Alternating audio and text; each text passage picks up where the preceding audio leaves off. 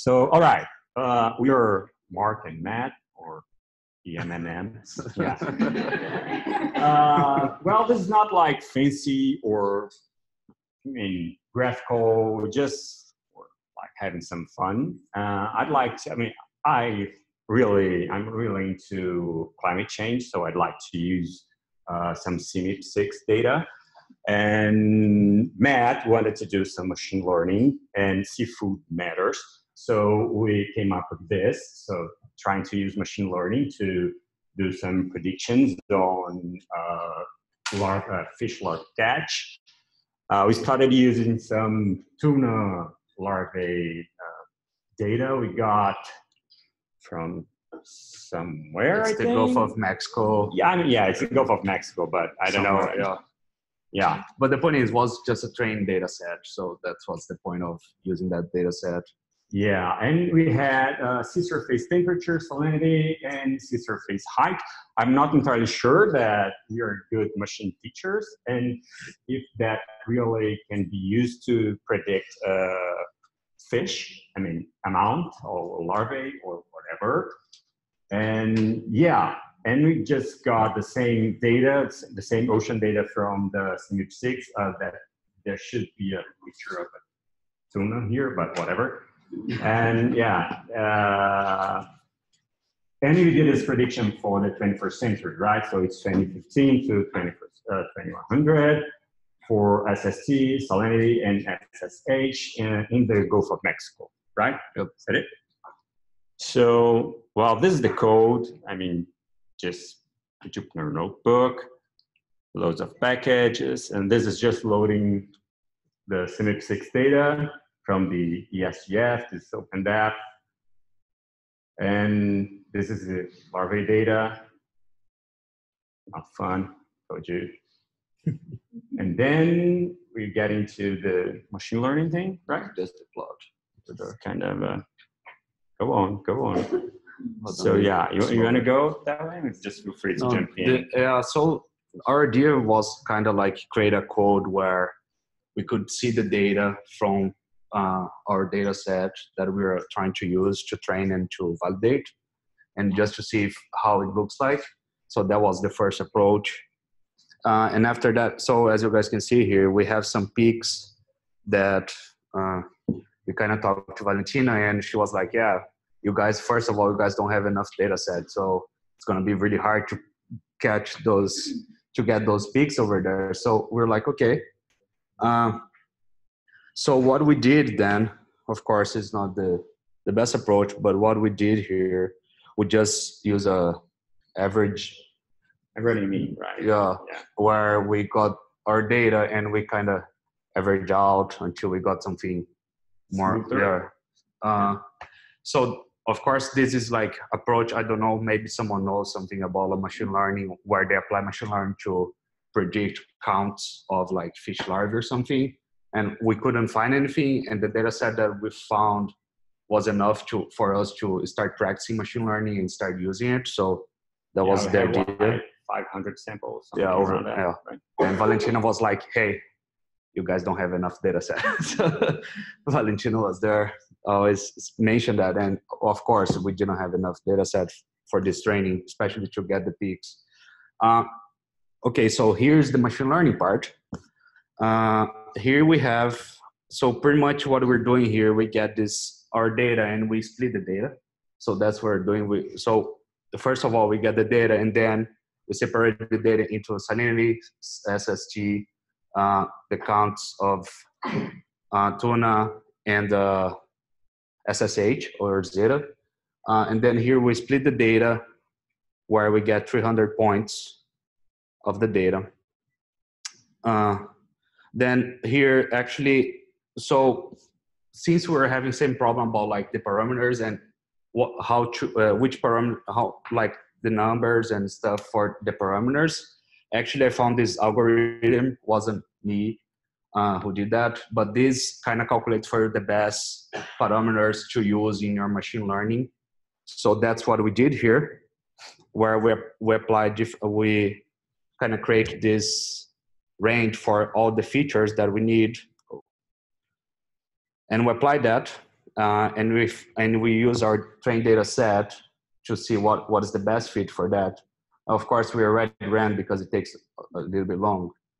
Uh, and then we come to our machine learning training, where here actually it's kind of automatized, automatized already, where it gets the values that we found, the best values we found previously, and we apply for the parameters grid, where we apply grid search using random forest regressor.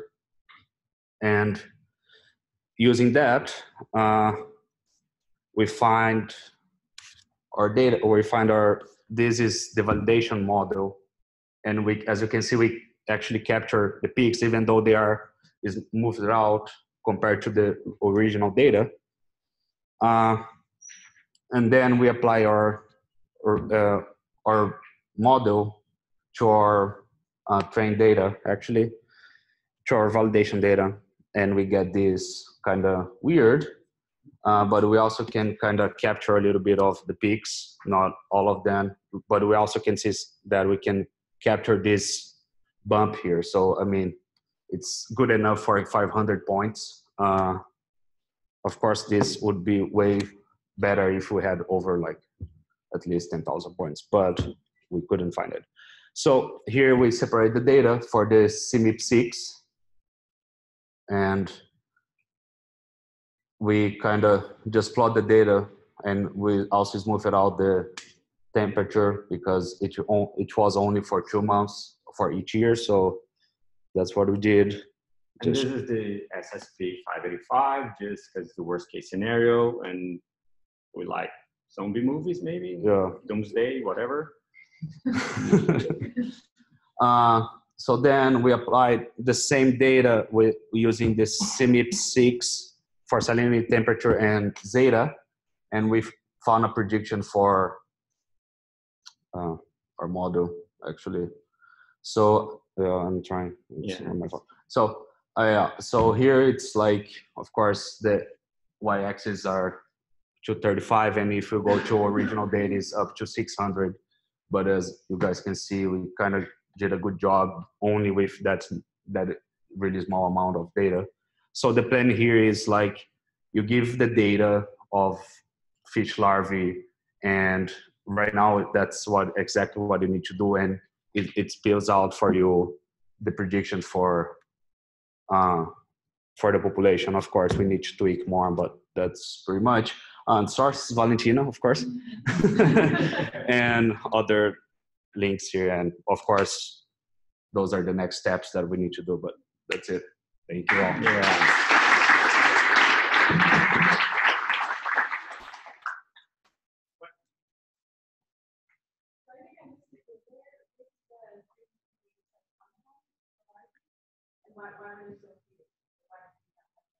Oh, because I couldn't find more data, actually. Yeah, because like, uh, like we kind of wanted to work with machine learning and uh, projections, but then we didn't know where to find the Fisher's data.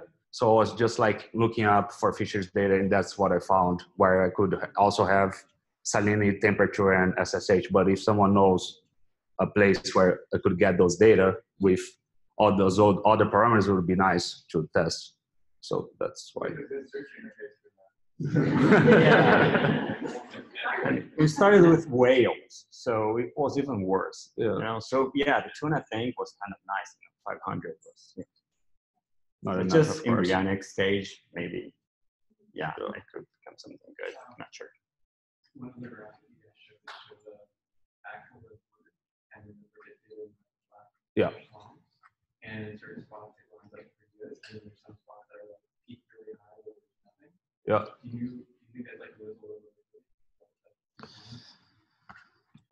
again might be because this is what ex- uh, so again like using this algorithm algorithm over here that's where we got let me see that's The yeah, that's yeah. the one so that's where we got all the parameters estimated like the best feed uh, of course and when we compare of course it's o- obviously was overfitting over there right?